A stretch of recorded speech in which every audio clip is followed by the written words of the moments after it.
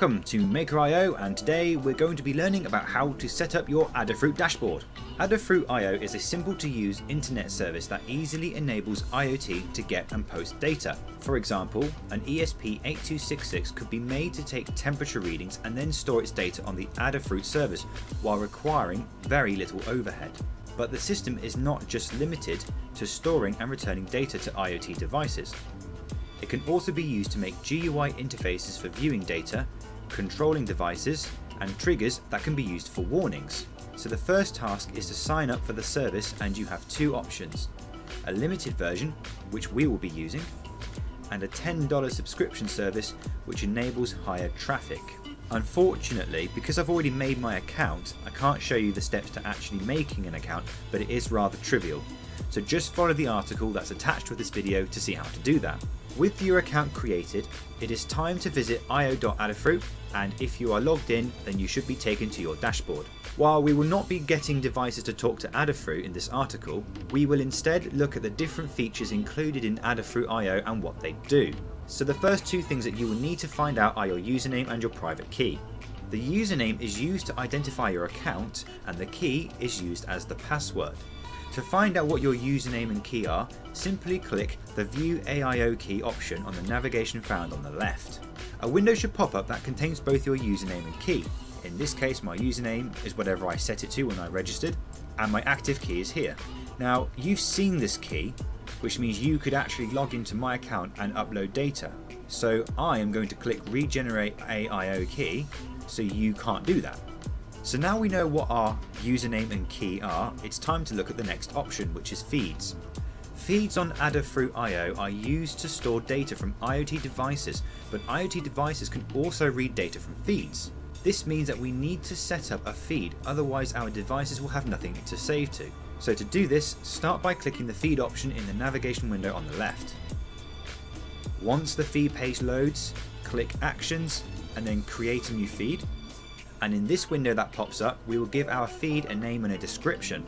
I plan to use this as a temperature logger so for now I will call the feed name temperature and give a simple description. If all goes well we should see our new feed appear on the feeds page. Dashboards are used to control devices and create user-friendly interfaces that can work with feeds. Interfaces that can be made include sliders, buttons, toggle switches, control buttons, gauges and logs. So to start making a dashboard, we need to visit the dashboard page, which is done by clicking dashboard in the navigation menu on the left. In the dashboard page, click actions and create a new dashboard. And in the window that pops up, we need to give our dashboard a name and a description just like we did with the feed. In this case, I will call the dashboard temperature station as it will be linked to our temperature feed and the description will be somewhat self-explanatory. If all goes to plan, your dashboard should now appear in the dashboard list. To open and edit this dashboard, click its name in the list. With the dashboard open, we should have an empty blank space as we can see here. So we're going to need to fill this dashboard with some GUI stuff. While the dashboard allows for many different types of I.O. interfaces, we will only be adding the gauge today. So to add a gauge, we're going to click the blue create a new block button, and then we're going to select the gauge. Now we have to link the gauge to a feed. So in this case, we're going to link it to the temperature feed. So we do that by ticking this box and clicking next step. The next step involves filling out some details. We have some minimum values, some maximum values, a title, a thick or thin gauge, we'll keep it for thin because that's a bit more professional, and then a value as a label. Now we're going to leave everything as it is, but we're going to change the gauge label to degrees C, since our future device will upload degrees. We could also add other elements, including sliders and momentary buttons, but for now I'm actually going to add a quick stream so I can demonstrate how on the dashboard you can drag different blocks and arrange them. So in this case I'm just going to link it to temperature. I don't really care about all these different things. I'm just going to go ahead and create a block and you'll see that we've got a block down here. But if we go to this little green button, this will allow us to edit the, the whole dashboard. So I can drag this block, which is a text stream, and I can move it around. I can change its size which means I can fully customize this GUI. I wonder what... Oh wow, look at that. You can even change... Oh, that's very nice. You can even change the uh, size of the dial as well. So I'm going to go ahead and make these streams big and I'm going to make this gauge nice and large. And then I'll click done editing. So now we're going to test if this GUI works. So we're going to go back to the main page. We're going to click feeds. We're going to click temperature and we're going to add a point. So we can go to actions and we can add some data. So I'm going to say 25 degrees and that gives us one point. So we go back to home, back to the dashboard, temperature station, and we've got 25 degrees centigrade. And we've also got a feed in our stream. So with the dashboard working, we will now look at the last feature, which is triggers.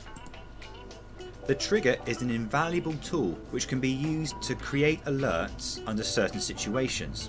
For example, we could link our temperature to a trigger which can warn us if the room is too hot or cold. So to set up a trigger, we need to first click triggers in the navigation window on the left. Now that we are at the triggers page, we need to create a new trigger. So to do this, click actions and create a new trigger. At this point, we have the opportunity to either create a reactive trigger or a scheduled trigger. The reactive trigger is one that fires when a value does something in particular, while the scheduled trigger is one that fires constantly with a given time interval. The next window asks about how the trigger should behave and in this case I have made the trigger send me an email saying it's too hot when the temperature feed is greater than 30. So we start by selecting the feed, which is the temperature, and then we're going to look for a comparison, in this case greater than, and we're going to make sure that we've selected comparison value of feed, so the comparison value is going to be let's say 30 degrees.